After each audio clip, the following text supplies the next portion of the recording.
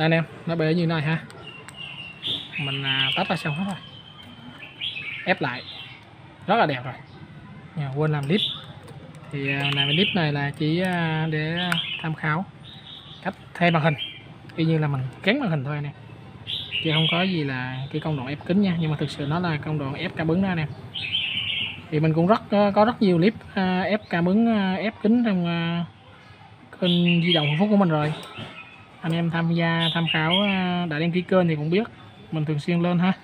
Để anh em ờ, những anh em mới vô nghề á có thể ờ, xem được những clip và làm theo vô tư thôi. Anh em có thắc mắc gì cứ comment dưới video. Mình à, rảnh là mình đọc comment mình sẽ trả lời cho anh em nha. Nhớ đăng ký kênh nha anh em để đón xem clip mới từ kênh của mình nha.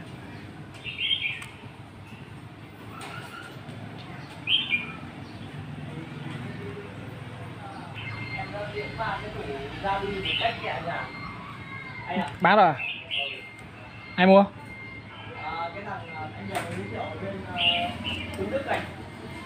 Ủa nó mua vậy? Nó nó, nó chia xuống à?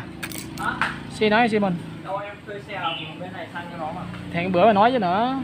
Phải thằng khác thằng khác. nữa khác nữa. Khác nữa. Giá nhiêu? Ba triệu rưỡi ba cái. Tiền xe 500 à? Xe hết triệu rưỡi. Đủ ngõ mắt dữ ừ rồi 5 triệu tổng cộng đủ má 5 triệu hơi bị cao tiền đó.